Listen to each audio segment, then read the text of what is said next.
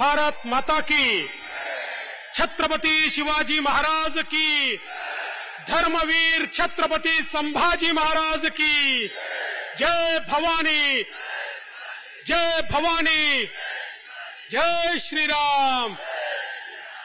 हिंदवी स्वराज्याचे सरसंस्थापक छत्रपती शिवरायांना मानाचा मुजरा करतो। भारतीय राज्य घटनेचे शिल्पकार भारतरत्न डॉक्टर बाबासाहेब आंबेडकर यांना मानवंदना अर्पित करतो.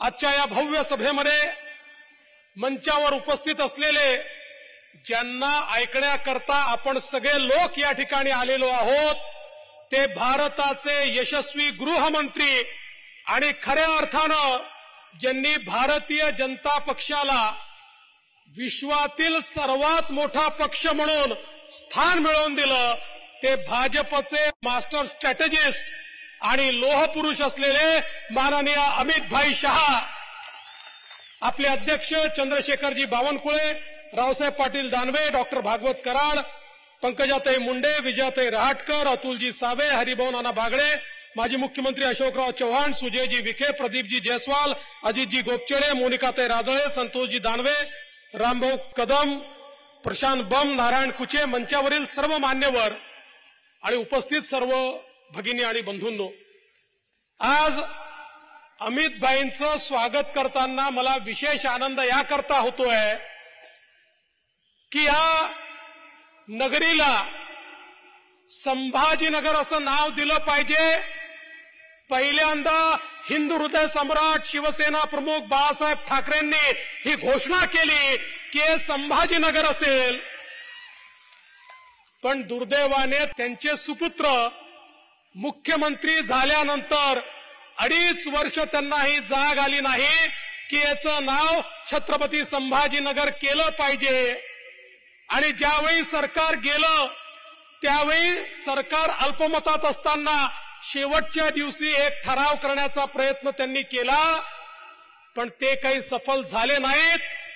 पण नवीन सरकार शिंदेजींच्या नेतृत्वात आल्यावर आम्ही सगळ्यात पहिलं काम काही केलं असेल तर औरंगाबादचं नाव बदलून छत्रपती संभाजीनगर केलं.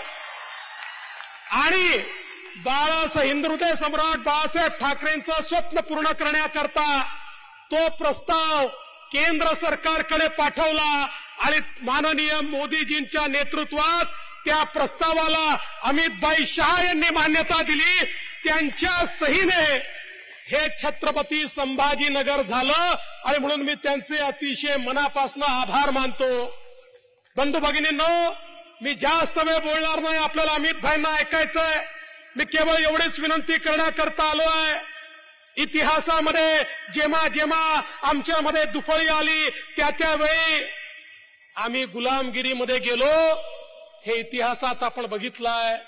मागच्या लोकसभेच्या निवडणुकीमध्ये आपण सगळ्यांनी बघितलं की जर चुकीच्या पद्धतीनं मतदान केलं तर या ठिकाणी काय होतं? आपल्याला जो खासदार निवडून आला माझा तुम्हाला सवाल आहे संभाजीनगरच्या खासदाराने त्या ठिकाणी तीनशे सत्तर करता हात वर केला होता का? केला होता का? संभाजीनगरच्या खासदाराने राम मंदिराला समर्थन दिलं होतं का? संभाजीनगरच्या खासदाराने मोदीजींच्या कार्यक्रमांना हात वर करून समर्थन दिलं होतं का?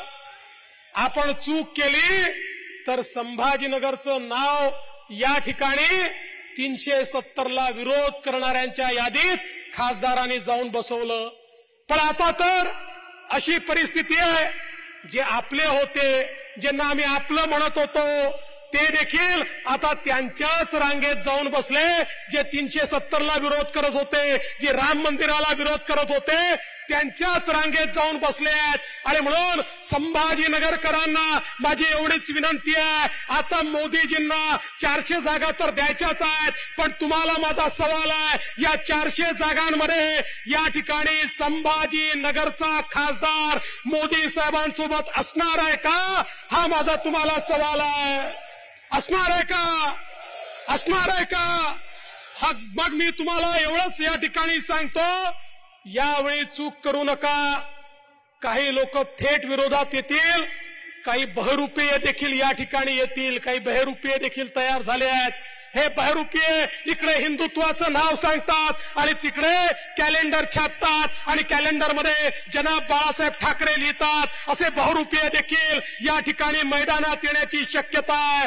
पण एक गोष्ट लक्षात ठेवा या ठिकाणी खऱ्या अर्थानं आमची संस्कृती आमचा सन्मान आमचा देव देश धर्म याकरता ज्या प्रकारे छत्रपती शिवाजी महाराज लढले आज त्यांच्याच पावलावर पाऊल ठेवून त्यांच्याच कडनं प्रेरणा घेऊन मोदीजी लढतायत. आणि म्हणून मोदीजींना पाठिंबा देण्याकरता संपूर्ण संभाजीनगर हे आपल्या महायुतीच्या एनडीएच्या पाठीशी उभं करा एवढीच आपल्याला विनंती करतो आणि माझं बोलणं संपवतो. जय हिंद जय महाराष्ट्र.